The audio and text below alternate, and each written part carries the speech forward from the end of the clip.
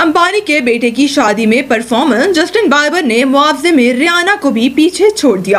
भारत के अरबपति ताजर मुकेश अंबानी के छोटे बेटे अनंत अंबानी और राधिका मर्चेंट की प्री वेडिंग तकरीबात में परफॉर्म करने के लिए मारूफ पॉप गुलकार जस्टिन बाइबर ने मुआवजे के मामले में नामवर गुलकारा रियाना को भी पीछे छोड़ दिया है। भारतीय मीडिया की रिपोर्ट्स के मुताबिक जस्टिन बाइबर अंबानियों की शादी में परफॉर्म करने के लिए नामवर गुलकार आरियाना ब्योंसे और एक्न से भी ज़्यादा मुआवजा वसूल करेंगे। रिपोर्ट के मुताबिक मारूफ कैनेडियन पॉप गुलकार जस्टिन बाइबर को अनंत अंबानी और राधिका मर्चेंट की प्री वेडिंग तकरीब में परफॉर्म करने के लिए तिरासी करोड़ भारतीय रुपए, तकरीबन दो अरब छिहत्तर करोड़ अठासी लाख से जायद पाकिस्तानी रुपए मुआवजा दिया जा रहा है।